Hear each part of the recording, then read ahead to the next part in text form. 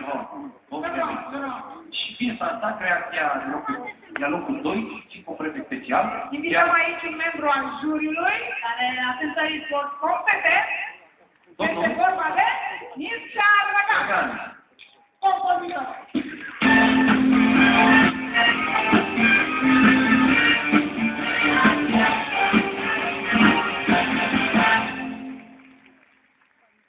Bună seara și felicitări organizatorilor și tuturor participanților la acest uh, eveniment de o deosebită însemnătate pentru muzica românească.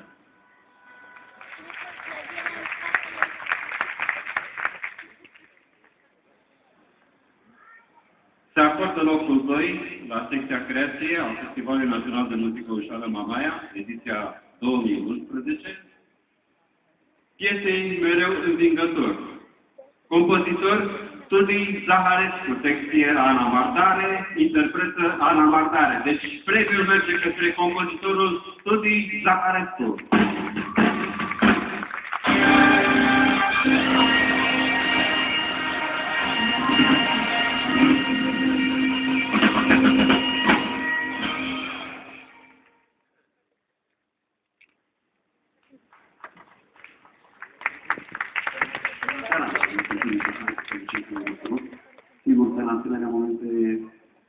Obișnuiește să spui câteva cuvinte. De obicei eu când vorbesc despre panică, dar asta seară nu o să o fac. Și chiar am să spun așa și mai mult din ceea ce simt. Elogiile mele pentru competența jurului, care a semnat o piesă care este destul de complicată, asta înseamnă că e un juriu de profesioniști. Distingu toată admirația pentru efortul de de organizare de acest festival un mare, deși singur loc unde să ne spunem și, desigur, pentru muzicienii care nu sunt alături de mine astă seară, atletul Quadro, Sorin și la pian alături de mine și alții, și nu în ultimul rând pentru excelenta prestație Anei Mardare, o voce de care toată lumea să se bucure. Mulțumesc!